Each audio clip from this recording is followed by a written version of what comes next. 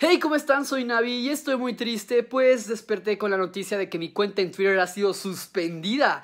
Todo comenzó esta mañana cuando desperté y agarré mi celular para checar las noticias en Twitter, es lo que siempre hago al despertar, y me di cuenta que algo estaba mal, pues las noticias no estaban cargando. Al principio dije, ah, de seguro es el internet, pero luego chequé el internet, el internet estaba bien, por lo que dije, mmm, de seguro es la aplicación. La cerré y dije, al rato la abro, eh, me metí a mi correo y aquí fue cuando me di cuenta que todo se había ido al traste, pues estaba repleto de correos de Twitter diciendo que había compartido contenido que no me pertenecía, que esto iba en contra de las políticas de Twitter, ya saben. Mi cuenta había sido suspendida, entré en crisis, desde ahí estoy intentando contactar a Twitter México, amigos de YouTube, para que me ayuden, pero al parecer nadie puede hacer nada al respecto, ni siquiera Twitter México, ¿pueden creerlo? Entonces, ¿para qué están ahí? Como sea, mi cuenta está suspendida y todo fue por compartir las fotos de Brie Larson como Capitana Marvel en el set. Esas fotos que todo el mundo compartió, ¿sí? Las del traje verde que no voy a poner aquí porque luego me bloquean YouTube también.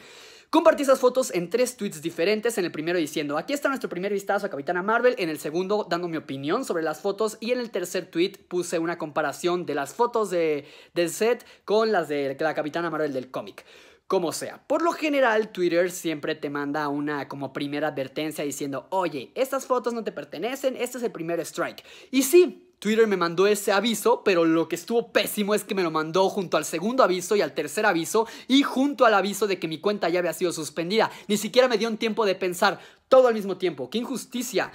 Ah, como sea, estoy muy triste, realmente espero que se resuelva este problema. Estaría increíble que me pudieran ayudar ahí mencionando a Twitter Support y poniendo regresen en la cuenta Andrés Navi a ver si algo se puede hacer. Ojalá se pueda hacer algo, realmente estoy triste, realmente espero recuperarla. Pero pues de momento aquí les dejo mi Instagram, ahí estaré compartiendo todas mis opiniones, todas mis noticias, ya saben. Eh, aquí se los dejo también, arroba Andrés. Gracias por su apoyo, espero se resuelva, los amo, bye.